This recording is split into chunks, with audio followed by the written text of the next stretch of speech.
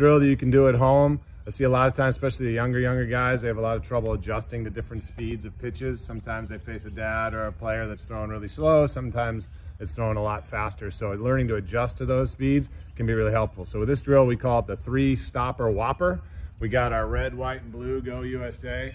Three stops, three plates. It'll be three different distances that Broxton, my man Broxton, six-year-old, who will adjust to those, distances. He's gonna go show us how to do it right now.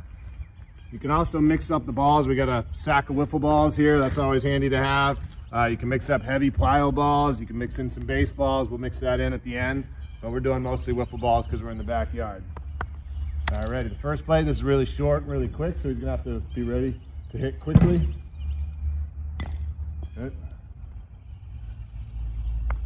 Good, next play. You back up. Always you have to wait a little longer.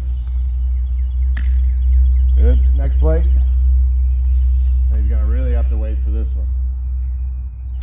Good, Rock. One more. Good. Then come back to the middle plate.